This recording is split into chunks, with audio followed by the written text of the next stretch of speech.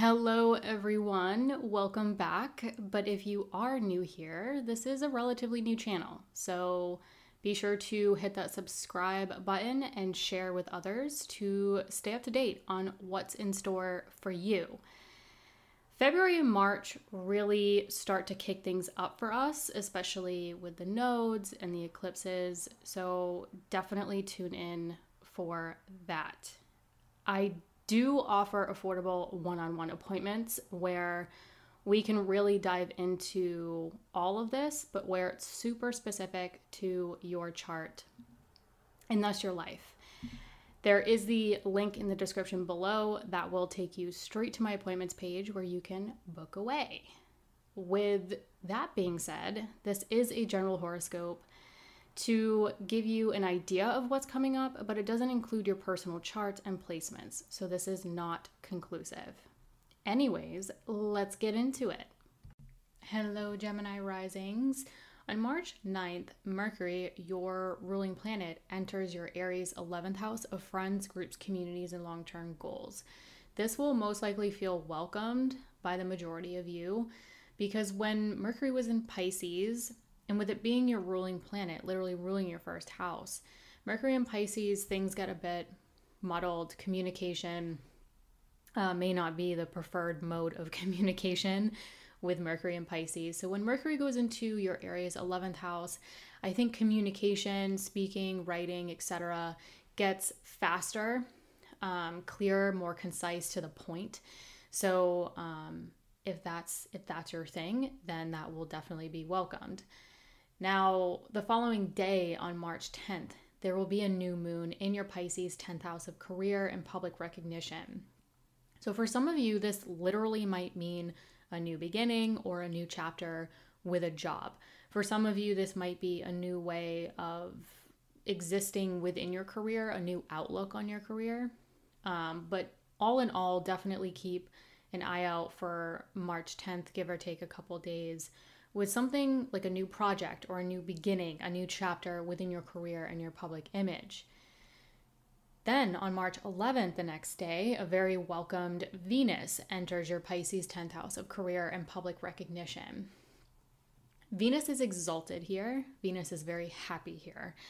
So, you know, with February's Saturn and Mercury combust in in this area, February, you know, may have had some challenges or some things come up that maybe weren't preferred in the area of career and public recognition, especially if you have your midheaven landing here.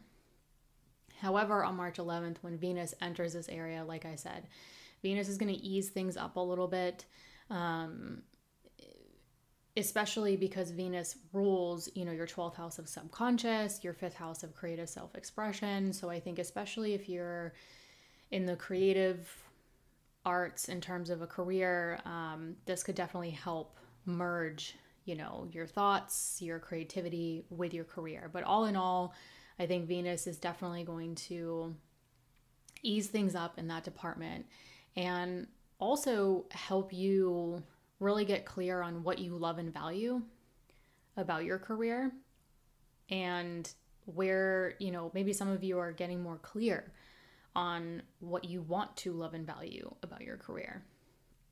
Then on March 18th, Mercury is going to enter shadow in your Aries 11th house of friends, groups, communities, and long term goals. So, March 18th onward, definitely pay attention to what comes up, what stories are starting to play out, particularly in the area of friends, groups, communities, long term goals, your hopes, your dreams, because when Mercury enters shadow, it's the con- it's the contextual clues. It's what's coming up that you are going to go back over when Mercury goes retrograde. And this one I think is going to be more of a supercharged Mercury retrograde because the north node is involved. So Mercury enters shadow, it will be conjunct the north node. Mercury goes will go retrograde and then go direct exactly conjunct the north node. So this is going to be um, a, I think, a stronger, more in your face type of Mercury retrograde. And for you, it's going to be who you surround yourself with and your long term goals. And Mercury is also your ruling planet as a Gemini rising. So you will probably feel this more than most. Now, on March 22nd, Mars then enters your Pisces 10th house of career and public recognition. Now, Mars is not all that happy in Pisces. So, luckily, you have Venus there to kind of help ease the situation.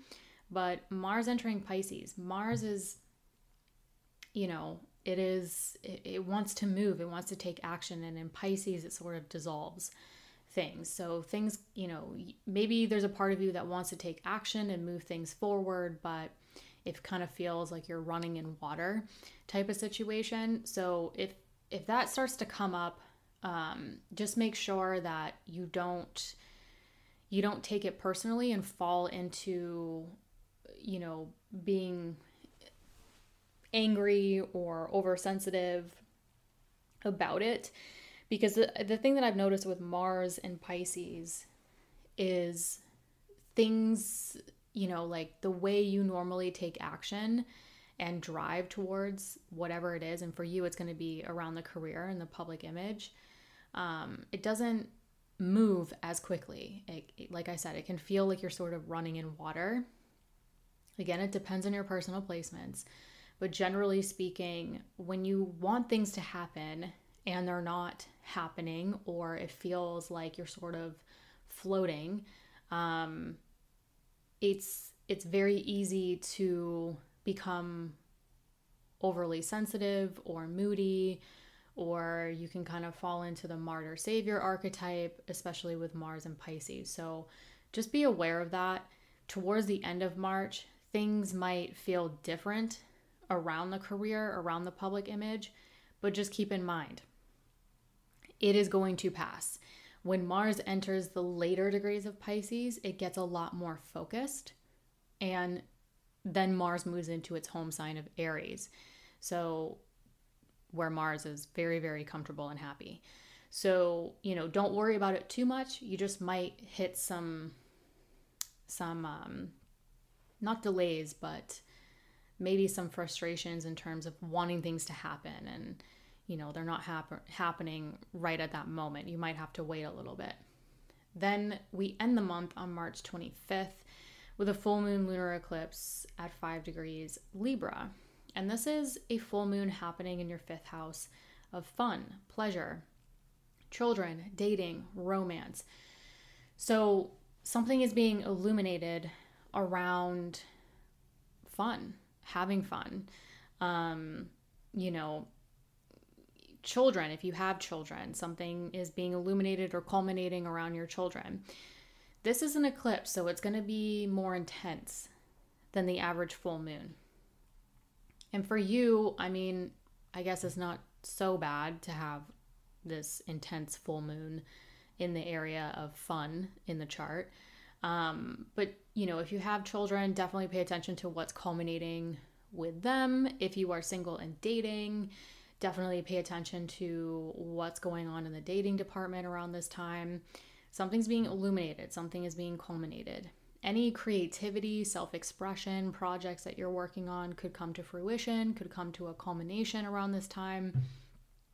Or, you know, a lot of you could be like a lot of you could just be more focused on how do I incorporate and culminate more fun in my life especially with the stuff happening in the career sector where things it looks like things might slow down or become a bit frustrating for a bit.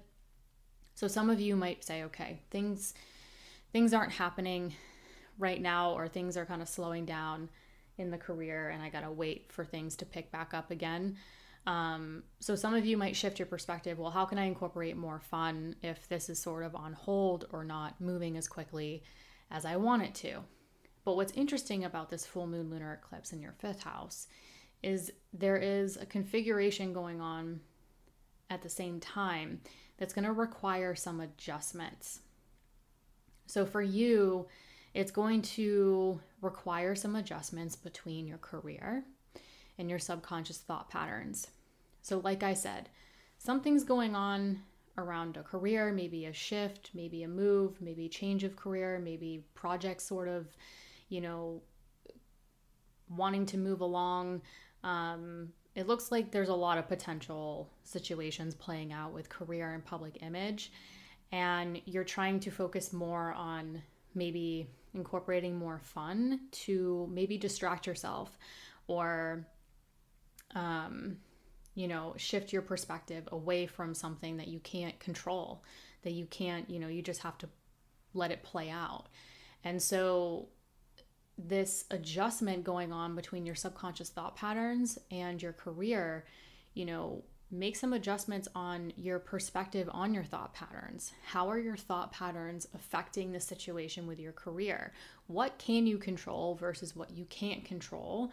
And at the end of the day, this full moon culminating in your fifth house, I think, is getting you to get, you know, have a strong look at despite what's going on in your life and you know things happen you know faster some things are slowing down despite what's going on how can you make adjustments with your perspective around your career and your subconscious thought patterns to incorporate more play more fun and more pleasure in your life